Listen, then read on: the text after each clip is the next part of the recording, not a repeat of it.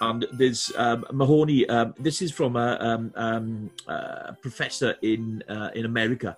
Um, and he, um, uh, he, he theorized and, and publicized that all significant psychological changes involve changes in personal meanings.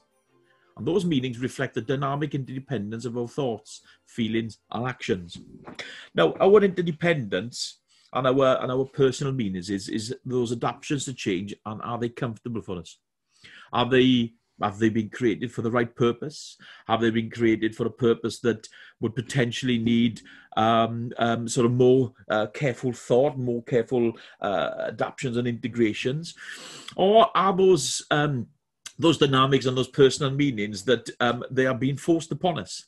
So the the the the, aspect of change and how that um, and how that has been forced upon us to means that we we don't have an option of adapting to it. We've got to just accept it. And the difference between adapting and accepting is huge. So let's get everybody start to really, really start to think about what those, what, what you know, what, what changes have we gone through over the last couple of months, over the last six, seven, eight months, obviously since COVID, and and what um, adaptations have we made? What adoptions have we made? Um, and what are the things that are stuck? What are the things that we now do that um, that are interdependent in our thoughts? Now, the interdependency the interdependence is something um, key critical because that is the way that it works for everything. So we talk about things that are interdependent. Um, our our you know we get we, we're, fluid and, and, and, and, nutrition and water and and social interactions. Those are our interdependencies because we have those interdependencies with other people, but we also rely on them.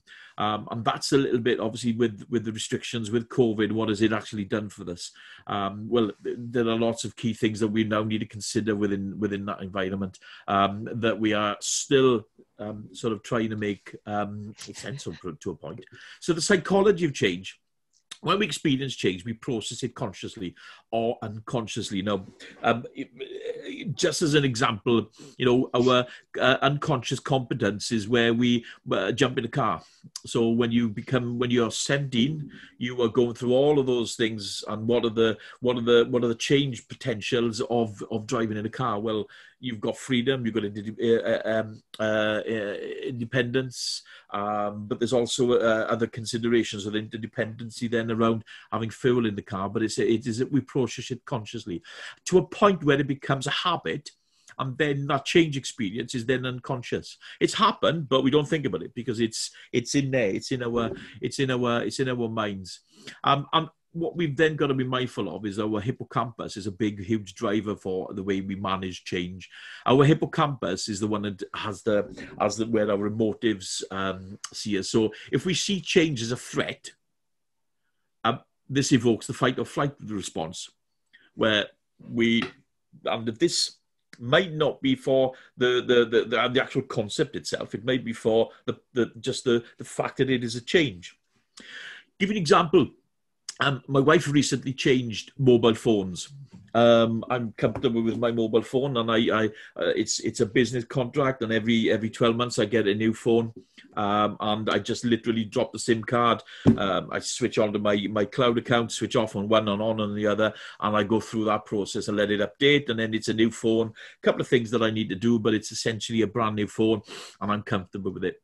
But I know what to expect because I've already outlined all of these all of these um, requirements no, I have no fight or flight with that. It is just something what's what what what what I have heard described by some psychiatrists and psychotherapists, and I think Steve Peters, uh, the author of um, the, the Chimp Paradox, I think Steve calls it um, um, uh, uh, uses the word flow, where the aspect is a lot uh, when it's more accepting, where it's just it is a logical process and we just accept it and move on with it, even though that it is a change, and we go through those processes.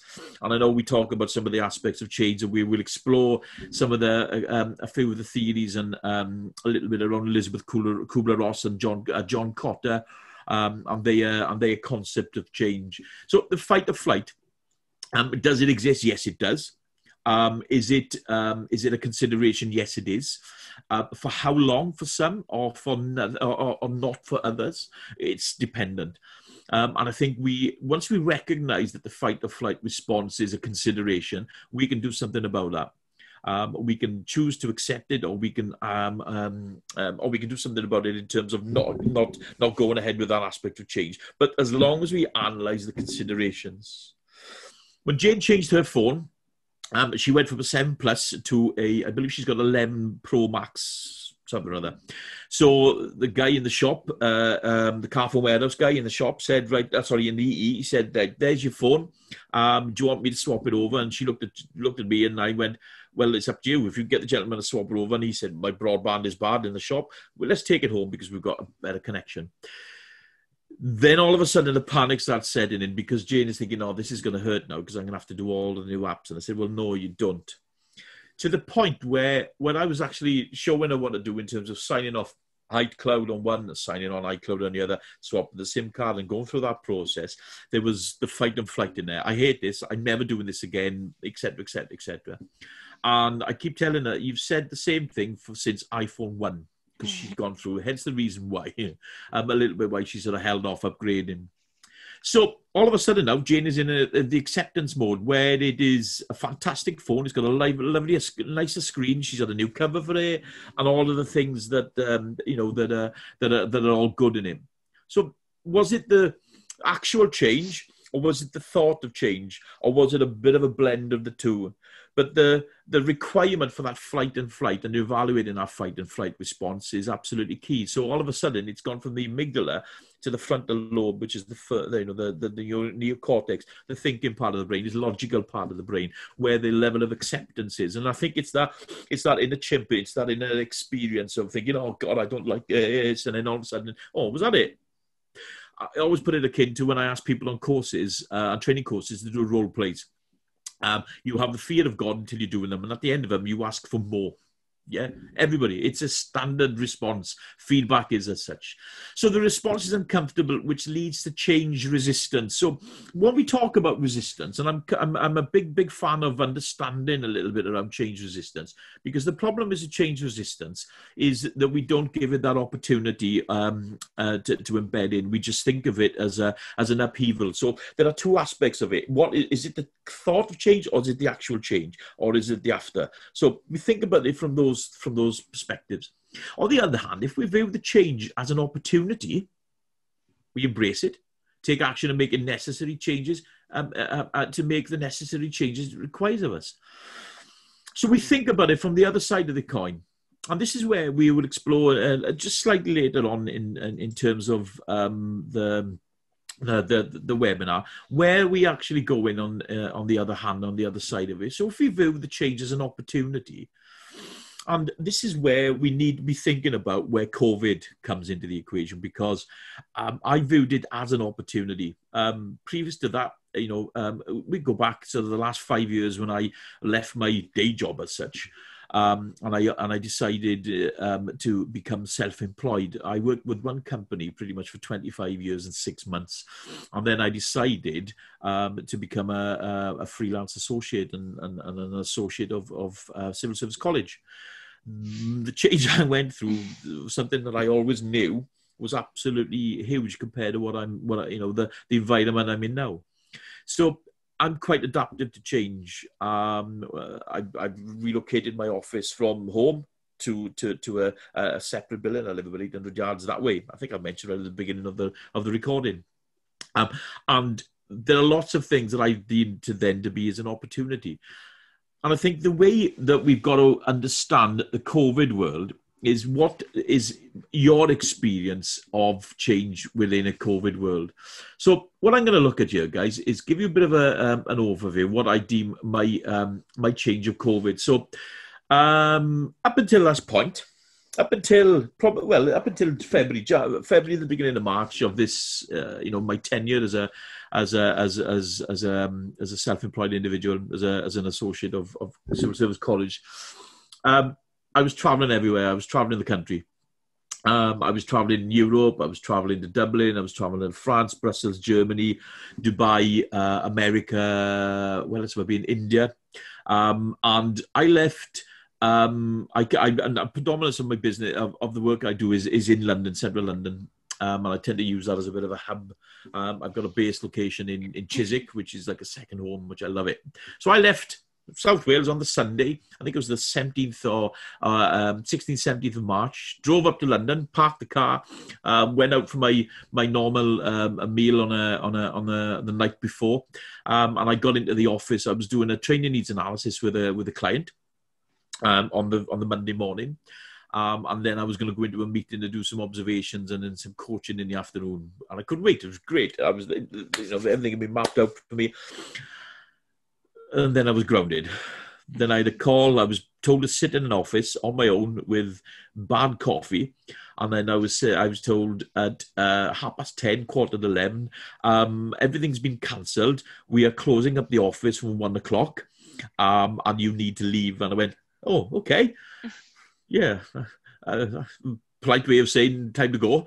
Um, I was grounded, guys, um, and jumped on the tube um, I had a mask. Um, I probably started wearing a mask in London before uh, before needed. So I thought this, you know, we were talking about COVID and and it was in its infancy and what effects it had, and it was a respiratory issue. And I thought, okay, well, the first thing I'm going to do now is is is jump on the tube, keep myself safe, get into Chiswick and, and make some inquiries and, and drive home.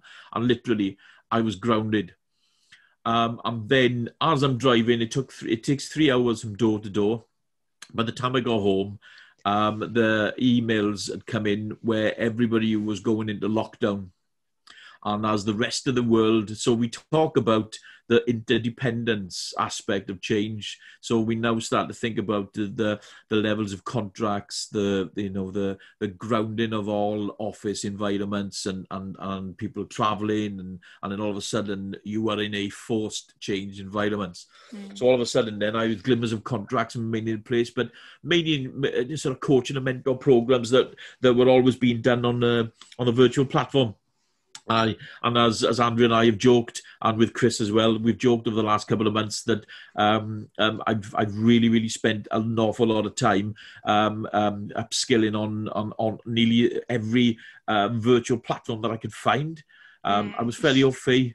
Um, I was fairly au fait with with Zoom and with Teams, and Teams has now recently gone through a new change over the last ten days. Um, WebEx was was ooh, all of a sudden WebEx has got five or six different platforms that it's that it threw out there. So I was used to it.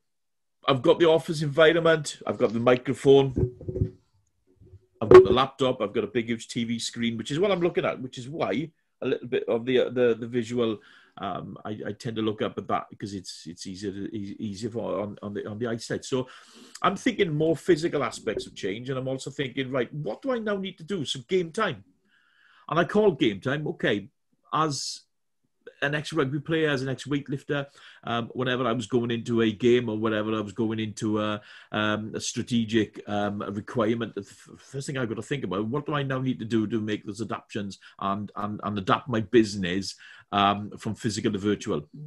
Um, and we talk a little bit around the physical to virtual um, when we are actually thinking about, um, um you know, a, a, a classroom environment um, to a virtual environment and how we can make these changes and what aspects of change that I can implement in there to make the journey for the new delegate people that are that are that are joining my panel.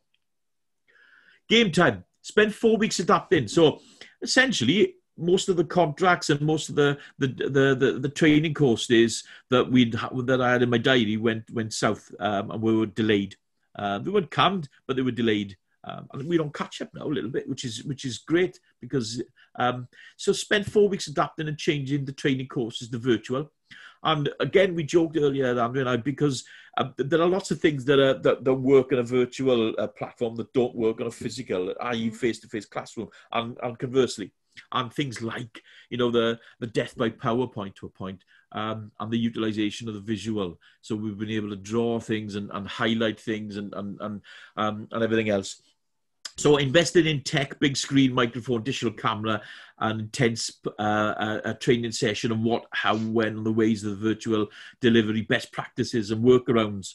And these things are still coming, you know, uh, uh it's coming thick and fast. And, and you're making use of social media, platform investment. So looking at things like Teams, um, WebEx, Adobe, Google, and even Skype. I still use Skype on occasion. Um, and these things, um, these things are absolutely key, uh, for, you know, for, for, for me to explore. So, um, so what have I adapted? Um, so what have I adopted? So those are the things that I've adapted, had to. Now what I've adopted. So I plan time in for research. Um, so I'm I'm continually looking at, um, at, new refreshments. I did a I did an afternoon yesterday on uh, on TED Talks. Um, on just spending time watching other people uh, and learning tricks of the trade in terms of the way people interact and the way people speak, the tone, the pace, etc., mm. and all things that we should be refining as as as facilitators plan time to review and refresh all of the training programs. So we look at all of the training platforms that we've done. Every single training course that I've got has been switched um, and adapted to virtual. Um, and actually, um, made better than it was before uh, because we've got time. I can, I, am taking time to process it. Moved all the programs from classroom based to the virtual environment. Expanded my network of people by using the social tools of the modern world. So I'm actively using LinkedIn at least four times a week. I use Instagram, and I've got now what I've now created is a link between the two. So I use Instagram and and, and, and LinkedIn, um, and those service then Twitter and Facebook. Um, but previous to that, um, I had no idea that you that that those those integrations, excuse me, those interdependencies, those integrations could work and how they could be maximized. Um, and they have, and I've made some real, real good. And I'm, and I'm a little bit of a skeptic to use the word friend, but I have um, because I do tend to catch up and and um, and, and have virtual chats um, fairly regularly, probably more than I ever did if jumping in the car, flying, hotel, airport. It was a very, very, um, very, very sort of uh, uh, secular world um, for for for a freelance. Um, explore the new ways of working and made them stick. So I'm I'm quite enjoying them now. Um, gain feedback from clients, what's worked well and what hasn't, and what can improve and, and, and to change it. And that's the key of it is is understanding what can what can be improved, what can we change and why. What are the things that we were doing, are doing, need to do, um, and it is driven by you. Obviously, the delegate is driven by my clients. It's driven by the, the you know the modern world that we work in. Um, work-life balance is there, hundred um, percent. I'm I'm I've never been home so much in my previous world as, a, as an SE. I, I, I worked and travelled uh, an awful lot, and it was the, there was a regular weeks that I was two or three days a week in a hotel. I think I've only stayed in a hotel um, since March, probably three times maybe. Um, and I and I and I'm and I'm quite happily being home. The home has been de- redecorated and redecorated and redecorated. So much less travel. Um, and, and you know, in terms of the, my mind and the environment is in a much better place. So my working world now, what I where I am, my desk, guys, is there what you see there is what you get what what what you've got so i've got me my earpieces i've got me my, my, the ipad um, i've got my keyboard i've got my screen so this is my office what you see there is is where i am at the minute i'm just sitting on the other side of it um and oh yeah that's underneath the desk this uh, picture Andrew loves this picture because he thinks I'm mad. It is six degrees up there, and I am. I'm not going to stand up, but you don't need because that is what is underneath the desk. Yeah, nice legs. oh, thank you, Mandy.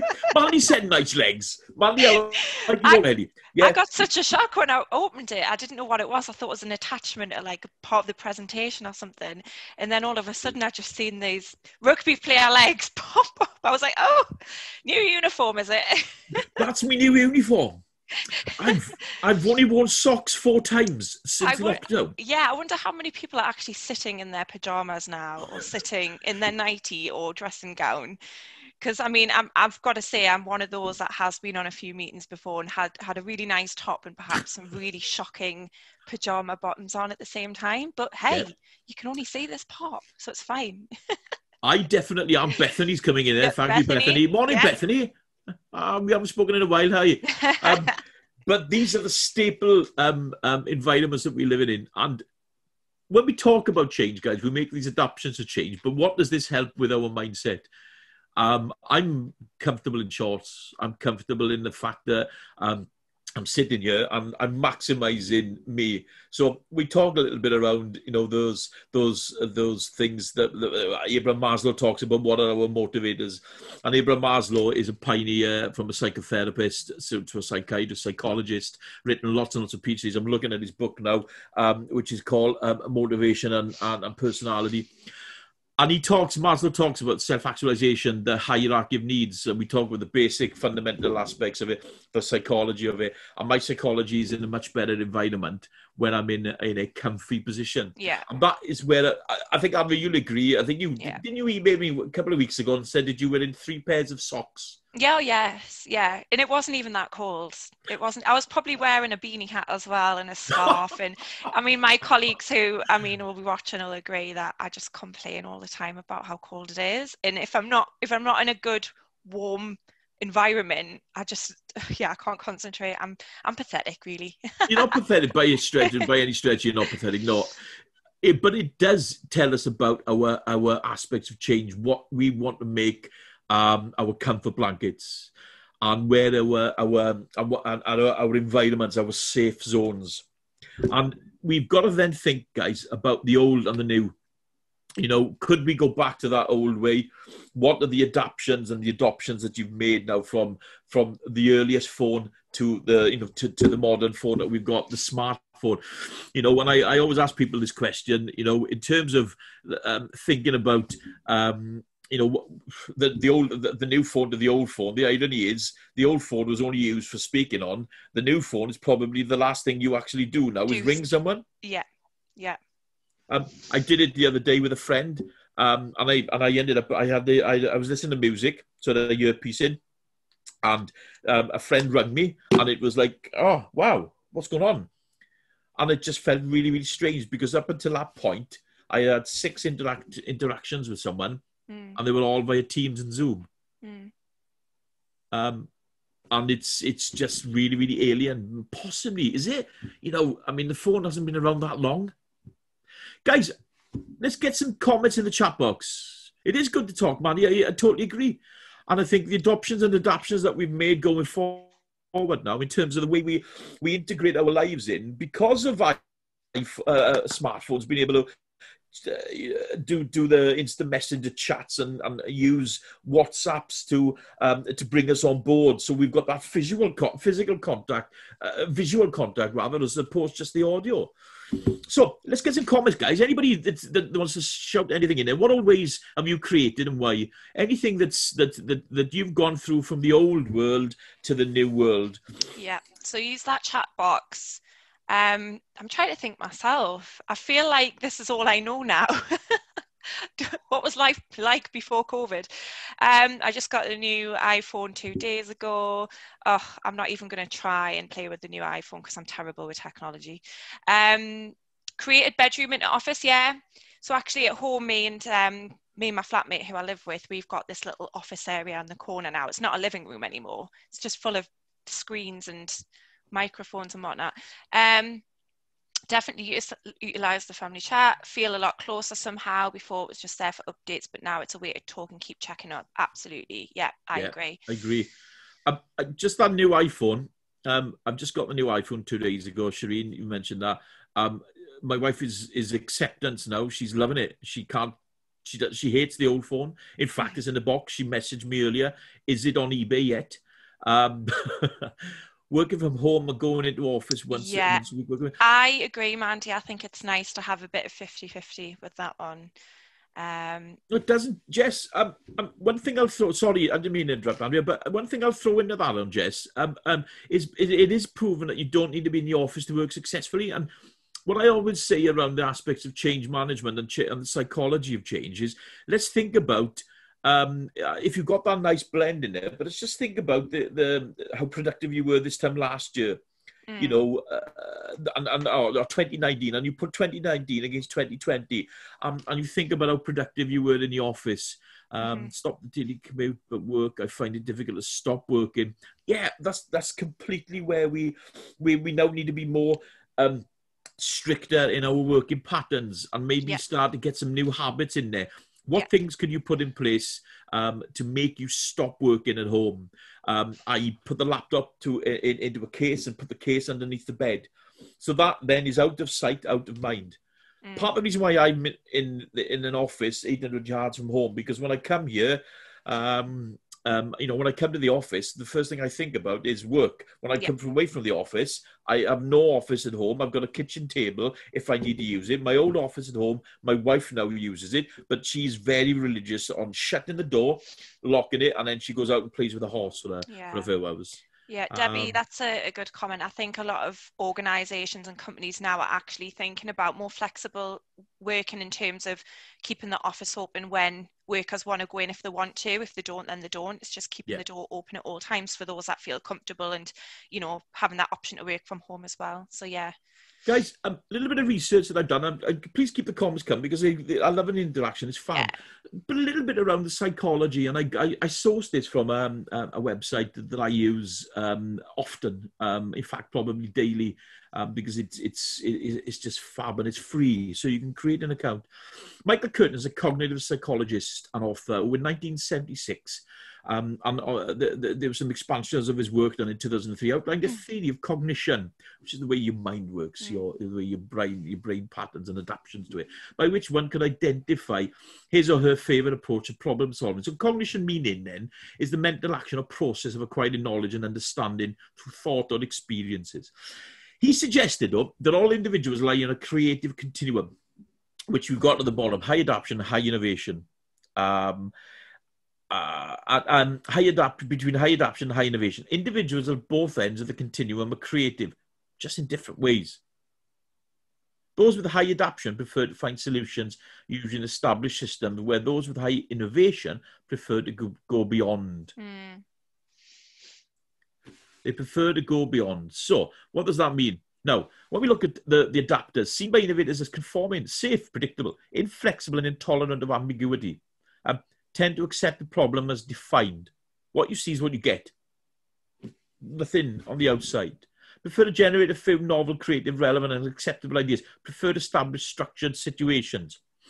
Essential to managing current systems, but have difficulty in regrouping during times of unexpected change. So the adapters, a little bit, um, um, need a little bit of a process, need a little bit of a, um, a system to follow. They create it, they will adapt it, but as long as there's no aspects of fluffiness on the outside, that is the question. That they can, right, what does he actually mean by this? So the ambiguity and you know when we when we work on ambiguity we, th- those are some of the things that we need to really really sort of focus on and, and, and try to eradicate so innovators seen by adapters as glamorous excited and unsound impractical risky abrasive threatening to the established system tend to reject the accepted perception oh i quite like that one produce numerous ideas which result in doing things differently um, not accepting. I absolutely love that. I want to do something different, even if it's virtual training. I still want to be different. mm, Produce numerous ideas which result in doing things differently. Prefer less tightly structured situations. So a little bit there around about how we think outside the box, but sometimes when we thought about the box, then we want the, we want that blend of the adapters that come in. So essentially, in terms of um, radical crisis and change, have trouble handling change with ongoing or established organizational structures. There has to be that that opportunity for free free thinking in there, but we need those aspects of blends. And when I ask people this, then I the first thing I say to them is, "Where are you located and why?" Yeah. Um, um, where are you located and why? So when we are starting to think about the change, that uh, the, the, the, that concept of ambiguity is, is is quite frightening to a point, where people are, are are sort of striving for, well, what does this actually mean for me, for us, for our interdependence? So we talk a little bit then around the understanding importance of planning and managing the forecast. So we forecast what our what our aspirations, we focus on what the business needs are, we focus what the commercial drivers are, but we also need to be focusing on what the vision, mission, and the goal of the business is. Where are we aspiring to be? What are the things that we need for this business to function? Um, and whether they are uh, small goals, but as as as Stephen Covey talks, and I'm going to just pop that um, that in there. Um, one of my favourite books is written by a chap by the name of Stephen Covey. It's called Seven Habits of Highly effective people. And I hope I've spelt this wrong. If I haven't, I blame being Welsh because we are phonetic. You hope you've spelt it wrong, did you say? Oh, wrong. Yeah, I even got that wrong. I hope I spelled it right. Oh, I'm sorry. that's Still the multitasking. morning. It's still the morning. I'm the other's multitasking. My Instant. internet connection went before. It, we knew something was going to. Oh, completely. Yeah. But these are the things that you're funny. Thank you, uh, Amanda. I think that's referring to me. Um, Not not, not, Andrea, you're funny as well. Yeah. In a nice possible way. I'm thinking, anyway. Keep the compliments coming, guys. Yeah. so, what does that mean for the vision, mission, and the goal? So, we think about what our our cycle. We talk about what in a lovely way. I like you. We've never met, but I like you. We think about these these vision, mission, and our goals. We think about the interdependency. Now we've gone through that concept of change, we now need to think about what our aspirations are, vision, mission, and our goal. We need to think about the commercial elements of the business. We also need to think about the the, the, the innovators. We also need to think about the, the the people that can drive these these these ideas forward. But we also need to think and it was alluded to in one of the chats earlier about you miss your team well 100% but there was a there was something conversely mentioned as well. Um, um, yeah you miss your colleagues 100% jess yeah. Um, um, um, um, but definitely oh there was bethany's comment definitely utilize the family chat so we can Mm. use that from a team's perspective. And you do feel a lot closer. I, Yeah. I, I, I totally get that because um, my nephew and my niece live in manchester and my brother does and the, obviously they're in a, uh, the, the lock the severity of lockdown. I'm not 100 percent sure what that means now. Um, I think they're still in tier three. But on occasion, I would drop them because they're both in their early twenties. My Lily is twenty four, I think, and Josh is yeah, Josh is twenty six. He's twenty seven in in in, um, in April, and Lily's. Uh, but I I would drop them an occasional text message and ask them, "How we doing, guys? You okay? Yeah, yeah, we're fine." Um, but the problem is, is that you would very rarely get a comment back from them. um, because typified they are non-teenagers, but in 20 teenagers, if that's such a thing, but it Yeah. is. It is. It is. So, but all of a sudden, we get a we get a we get a weekly catch up now. Um, my brother and I, um, on occasion, um, I'll go in the garage and get my iPad. He'll be in Manchester, and we get another couple of friends that my brother's lost touch with, but I put him back in touch with. Um, and, the, and maybe four, six of us will sit wherever we are, some in the village and some scattered all across the different parts of the of the UK, and we'll have a catch up. Would we have even thought about doing that pre-COVID? No no. not a hope. So we talked then a little bit around that interdependency and where we all sort of sit and fit um, uh, together and how we can. Um, and how we can sort of connect and, and the rationale be, between the, my actions have a knock-on effect to Andrea's and Andrea's, but we don't see that. But that level of interdependency from an, an economical as well as um, um, as well as a, a sort of more personal level. So moving on, guys. So consider external forces and how they impact on you and your organisation and, and, and your family as well. And I think you know that old adage about you when you come to work, you leave your work, your personal work, uh, your personal environment um, at the door, and then you come in, you're in work mode. But the interdependency of those two is that you bring one into the other. And what adaptations have you made at home? Can they work at work? And, and vice versa. And we obviously need to think about that risk aspect of it. Just quickly, um, and I forgot to pull the the the uh, the animations of this, so I'm just going to quickly throw this in there, guys. Now, VUCA has been around for quite a while, and from a change management uh, research and perspective, it's something that I've I think I've um, I've used on numerous occasions. Um, so I just want to give you a bit of a background of VUCA. So um, um, um, the VUCA concept was first, excuse me, developed by the U.S. military in the collapse of the Soviet Union to describe a multipolar world. It's gained traction in recent years as a way of describing today's business world, the increasing speedy, rocky, and complicated landscape in which organizations operate.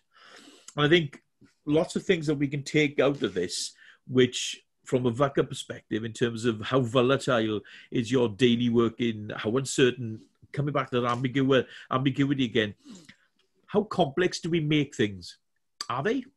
So we talk about can you work from home? If I'd have asked you this 12 months ago, would you have been allowed? We can't work from home. We've got risk assessments and health and safety and everything else. Right, okay, let's introduce COVID and you're forced to work from home. So all of a sudden, we go through that adaptive change where originally it was thought to be complex because we've put so much bureaucracy and that red tape around it. Lots and lots of things around the ambiguity around change that we need to eradicate. But we need to think about what that means. So what VUCA tells us and teaches us is, is that. Um, where were we? Increasingly, yes, we uh, challenges in technology, globalization and change in working demographics. Leaves more unknown than ever before and moves at a continued pace the one thing I will say about um, the, the, about change, guys, is constant since 1963, when man was first put on the moon, we have gone through more um, complex, adaptive, forced, or change full stop than in than in the previous three to four hundred years before. Um, and that's where we need to have that level of acceptance that change is constant. Don't try and fight change because you can't, because it's there. Emphasizing again that this highlights a need for managers and their teams to be able to embrace change and see it as a process of continuous improvement and adaptations of today's environment. Now, um, as other parts of the of, of, of, civil service college, but we talk about that continuous improvement where we look at things like Gemba, Muda, um, uh, 5S, Six Sigma, Lean, Waterfall, um, um, and Scrum, and all of those project management. But those are continuous improvements to try and eradicate um, um, complex and, and needless red tape and bureaucracy. So, what we then need to think about is the factors to consider and that everyone has a responsibility for creating uh, um, creating a future. Um, so let's take some time to reflect on what you've gone through with COVID. So you work from home, lockdown, partial isolation, uh, people distancing. Mm. Um, I don't think I've ever been to Tesco so much in my life. Um, I, I really, really don't think I'm just to see other faces, or just because you generally need to go shopping, just um, taking a walk around the aisles just to see someone different. Well, yeah, no, ready, steady, cook. We've got a bit of that going on at home. Um, which is not good because there's only so many. I think there's only about six dishes I can really, really make, make. that I'm confident in. So I'm getting recipes and, and and I'm just thinking, yeah, Tesco's but I'm putting a mask on, I'm putting a beanie on, and all people can see now because what we've got in our local village is when you go in there for a pint of milk, you're there for like an hour, oh, two talking, hours. Talking, talking to the talking go to away. the person you know. Yeah. Go away! I don't want to speak to you today. Can we can we Skype please? Yeah, yeah. Can we? oh heaven! But remote control over the world may be more adapted to tech and the virtual. Wow, yeah. Why not? Let's think about it. so thinking about the change that you're leading, what's changing? What is the what is the change that's happening? Um, how will things be different after the change? Who will the change affect? Um, um, when will the change take place? Where will it? Um, what are the people expectations? So a little bit around the ambiguity.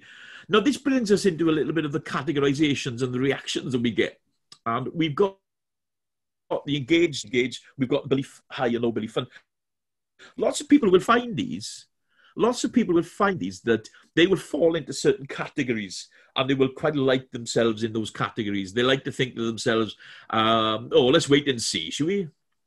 And th- th- that is the point blank refusal because there's aspects of that. What have we talked about right at the beginning? That, that aspect of that fight and flight kicks into it, and they go, mm, "Let's wait and see what what what what change is going to bring." So all of a sudden, they built that barrier up.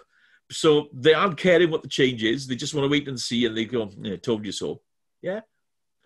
Then they look at um, the follower. So they have high belief, but they they feel less engaged, but they are they're happy to follow. It's inevitable. They'll just run with the. They'll go with the status quo. They, but what we seem to be missing, what we tend to miss with these types of people, guys, is that that, that inclusion in there. If we get the engagement, we've got that level of belief already in there, but these people will just come with us. But how can they help us to change that? How can they help us to, to really expand on that change? Um, we get some then a low belief, low engagement, and go, oh, God, not again. Didn't we try this 10 years ago? Yeah, if it ain't broke, don't fix it. You've got to love those. Champions, let's get going. Let's think about what this change is. And each and every one of those reactions can be the champion. Mm. We aim to bring everybody into that champion we aim now to think about the questions that we bring in and get everybody to to to to, to champion um, and what would they do if they have their opportunity of change now that we know red tape sometimes can be a fallacy mm-hmm. sometimes it exists because it's always there been there but if it ain't broke don't fix it If you always do what you always did, you always get what you always got. Yeah. Mm. 1960s, 1950s, 1960s, Elisabeth Kubler-Ross, the Swiss-American psychiatrist, conceptualized the five stages of grief. Lots of ambiguity around it, lots of lots of question around this that it isn't linear, and I agree because um, I find um, I find change as quite enlightening, and I go straight to bargaining and then acceptance. Yeah where some will go through that. no. So we talked about the reactions of change, and these are the parts of the reasons. Everybody will will will will judge each and every one of these uh, elements uh, differently. Um, I love this model. Um, a big, big, big fan of Elisabeth Kubler-Ross. Um, and and, and and and and the way I always look at it is that if we get the bargain inside of it right, we have to give people those that, that time to accept it. Um, the one um, a furtherance back in the 70s, then this was created as a bit of a, um, um, a business change. So Elisabeth Kubler-Ross created that um, um, five uh, stages of grief, which then became uh, change management. Then John Kotter uh, introduced his model in the 70s, which is still used today. I use this continually um, with with uh, with people, with myself, with my wife, yeah, with family, um, because I know people are going to go through these stages when things happen. So, what that allows me to do is is to create that level of empathy, because um, I always look at stage six as being optimum. Um, so we look at the creative sense of urgency. Why are we doing this change? What is the purpose of it? Form a coalition. You know, you get the you get people on board. So we talked about the reactions. How can we introduce the the, the non-believers, the and the low engagers? How can we get them engaged but bring their belief up? Include them, get them to manage the change. Divide, develop that inspiring uh, vision. What does it mean? The vision, mission, the goal. Whether it's short, smaller scale now, because we we have that unknown so instead of thinking the three or the five year vision, mission, and goal as an organization, we bring it forward one month, three months, six months, nine months. Review continually, continually, continually. If uh, if you get the opportunity of downloading the seven habits of highly effective people, guys, habit number seven is is is, is where sharpening the saw, where you review, refresh. So on the front foot with change, empower others to enact vision, and generate those shorter wins. Mm. These are the motivators. These are the things that you want to allow people to change their mindsets and change empathy is what we'll, we'll, we'll just quickly finish on. Um, but the acceleration. So when you go for change, make sure it's constant. It's not just done once, stopped. That is continual because it's interdependent. Because the rest of the world is changing, so should you um, and, and then initiate that aspect of permanency within the change. Because where we aspire people to be is there. Ways to work with people when you better understand, when you understand them better is that change empathy.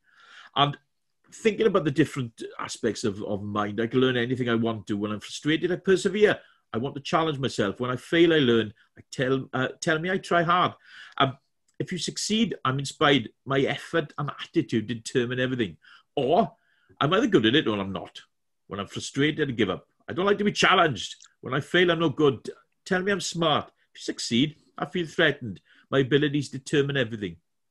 If we can change our mindsets, we have got much more of an aspect and a consideration of um, of, of, of, of embracing um, um, uh, anything and everything that, that, that, that lands on our lap, COVID being one.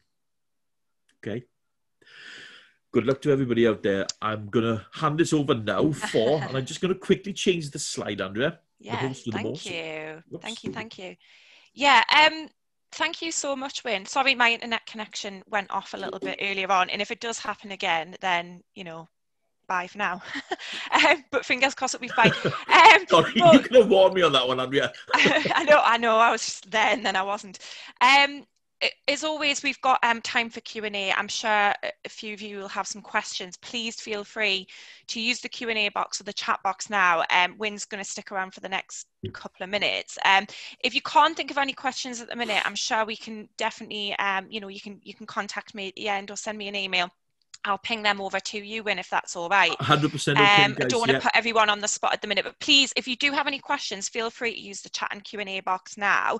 Um, whilst you're having a little bit of a think, um, Wynn, if we could just go to the next slide, please. 100%, yep. Cool. Thank you. Um, Okay, so ooh, if we just yep, go back one. oh, I, that's the same slide. Is it? Yeah. There we go. That's what we want to see. Um, okay, so more webinar news. As mentioned, this was our final uh, webinar of 2020. So thank you so much, Wynn, for stepping in and delivering that session. Um, it was a really fun one to end the year in. I think we needed it. Um, thank you for asking me. Yeah, and um, if you are interested in signing up to uh, find out more about what kind of webinars we are running, we try to we try to deliver them on a one or two week basis. From January onwards, though, we do have um, webinars scheduled in, so please do sign up to our training alerts to keep up to date with those at www.civilservicecollege.org.uk. And if we just go to the next slide there, please, Wynn. Oops. It's them anim, anim, um, I'm getting rid of those. No. Honestly, they need to go. um, so as mentioned, we uh, we do have um, a couple of webinars coming up in January for you. Uh, the first one will be with our expert trainer Joe Cliff on how to get your voice heard in meetings. That's on Wednesday the 13th of January. Um, and the one after that will be on Tuesday the 19th of January on leading with impact and purpose with Keith Bleasdale. So please do go on our website if they sound like something that you'd be interested in. Feel free to register. They are completely free. Uh, we do have more webinars scheduled, so just have a little look on our webinar page to see what is coming up. But these are the first two in January in 2021 that you will see. Um, if we can just go to the next slide there, please, that would be yeah. great. Fantastic. And um, as you all know, uh, we are on Facebook, Instagram, Twitter, LinkedIn, and this recording will be put on our YouTube channel when um, it's finished. So please do keep an eye out. We will follow this up with an email and we'll send you the slides as well. Um, so yeah, thank you so much. I can see that uh, there's a few comments in the box there. Uh, yeah, thank you very much from Mandy. Yeah, Bethany, thank you. Great. No questions at the moment, but uh, yeah, brilliant. We'll strive to be an innovator, not an adapter. That's good. At least you can take away something from today, Debbie. Thank you so much. Yeah. Wynn, it's been a pleasure as always. I'm sure I'll hear from you very soon. Maybe um, maybe after this call we'll have a um, recording, we'll have a quick catch up. And yeah, yeah, we'll definitely get you back on board. Thank you so much. Can I just quickly say thank you to everybody who's on the panels? Um, some some stuff coming in, and Debbie thought thought provoking. Um, yeah, just some really nice comments. Um, guys, stay safe, please, and have a very, very Merry Christmas. Oh, thank you. Yes, of course. And keep safe, stay connected, and have a lovely Christmas, and hopefully a big and brighter 2021. I'm sure. I'm sure. Well, it's, it's needed, isn't it? Everyone's just exhausted now. oh, yeah. Take it easy, everyone, and I'll see you all soon. Thank you.